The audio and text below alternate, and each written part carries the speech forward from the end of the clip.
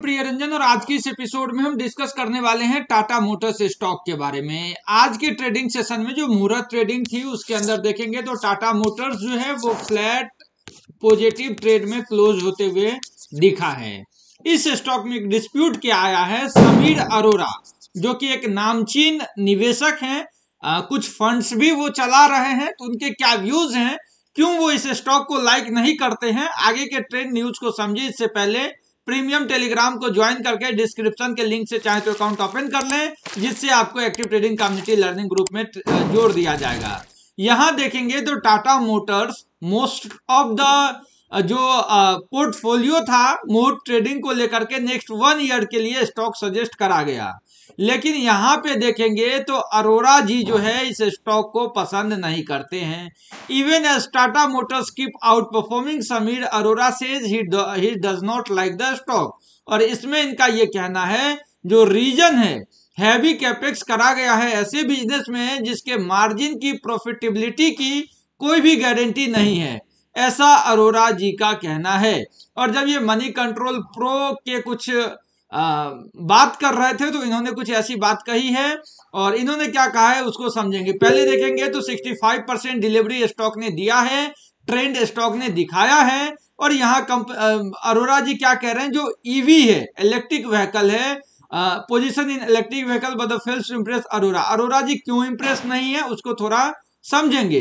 अरोरा जी कह रहे हैं कि जो इंटरनेश इंटरनल कम्बिशन इंजन है, इंटरनेशनल कंबसन इंजन से ईवी e बनाने में 15 बिलियन डॉलर इसने कैपेक्स करा हुआ है।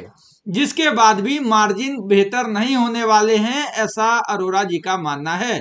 The cars were being made before cars are being made now nobody saying that you will make more enough margin nobody saying you will have bigger volumes overall of cars ये एक बड़े reason है जिसके कारण ये इसको पसंद नहीं करते हैं।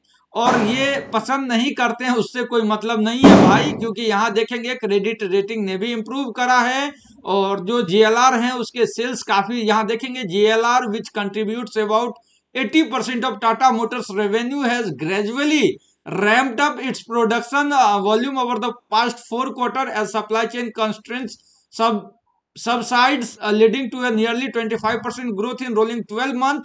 और जो जीएलआर है वो काफ़ी एक रीड की हड्डी है टाटा मोटर्स की।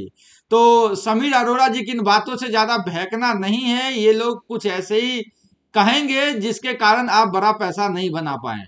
टेक्निकली देखें तो स्टॉक जो है ट्रेंड तो स्ट्रॉन्ग है लेकिन जो आ, सुपर ट्रेंड है सुपर ट्रेंड ने यहाँ सेलिंग का इंडिकेशन दे दिया है। और फ्रेश 672 के ऊपर ही एक बड़ा ट्रेंड दिखेगा। जब तक इस लेवल को ब्रेकआउट नहीं करता है, थोड़ा आपको डाउन ट्रेंड भी दिख सकता है। एमएससीडी के सिग्नल भी बाइंग से सेलिंग के तरफ़ चेंज होते दिख रहे हैं। जो डिलीवरी है, वो इस स्टॉक में बेटर दिख रही है। जो टेक्निकल ट्रेंड है, वो भी पॉजिटिव दिख रहा है। लेकिन एक बार इसके चार्ट को देखें। इसके चार्ट को देखेंगे तो एक रेंज में ये स्टॉक स्टॉक होते हुए दिख रहा है। और यहाँ ये सपोर्ट दिख रहा है। और यहाँ रे, ये रेजिस्टेंस दिख रहा है। तो 670 के ऊपर ही जो शॉर्ट टर्म ट्रेडर हैं वो इस स्टॉक में लॉन्ग करेंगे। ओवरऑल ट्रेंड कंसोलिडेट है और शॉर्ट करने के लिए भी हमने कहा कि मिनिमम 640 के लेवल को ब्रेक डाउन करने दें। 640 के नीचे 618, 600 और 560 से 20 तक के लेवल्स दिख सकता है। जो लॉन्ग टर्म निवेशक हैं बने रहें एक वैल्यू बाइंग अपॉर्चुनिटी का वेट करें वो जब आएगा मैं श्योरली आप तक भी ये बातें शेयर